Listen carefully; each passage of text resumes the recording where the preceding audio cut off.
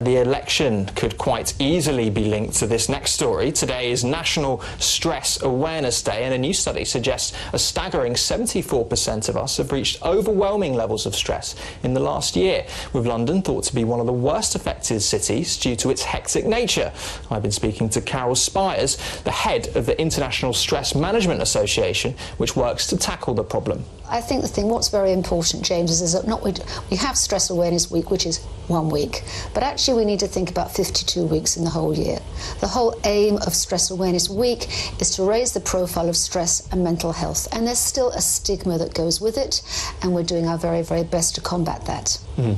Uh, the definition of stress is perhaps the best way of looking at things because stress is natural, we all mm. go through it, but it's in determining when it gets too much or when it gets too dangerous for people, isn't it?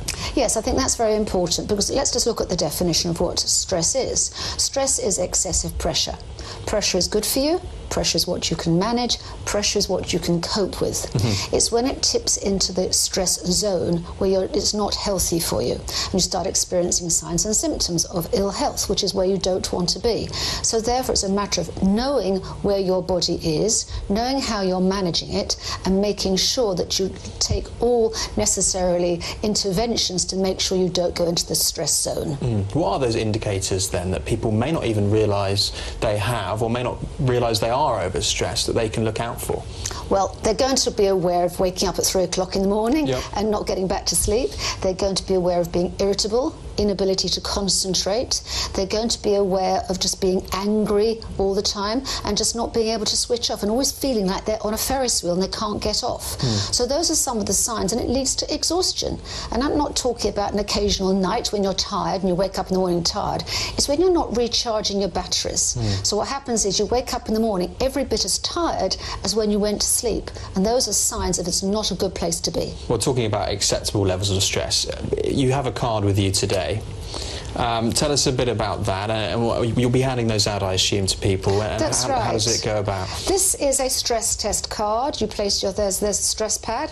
You place your th the thumb on the square, and for 10 seconds. And if you're stressed at that particular moment, it will stay black the chances are, because I'm on TV, it's going to be black. However, if when I go home this evening it's still black and I'm chilling out in a chair and listening to some music, then I know my body hasn't switched off. It's all about switching off. Of course it's black. If I did the same for you, it'd be also black. Well, let's give it a go. Let's give it a go.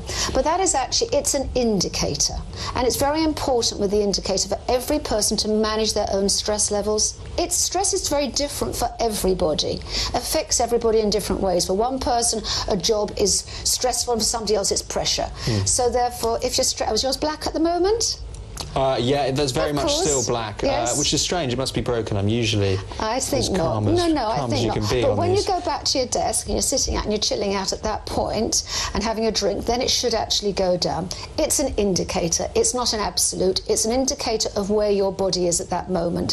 So if when you go home tonight you haven't switched off, the card will actually tell you that that is the case, and you can't kid it. Carole speaking with me earlier. Today is, of course, National Stress Awareness Day. Right.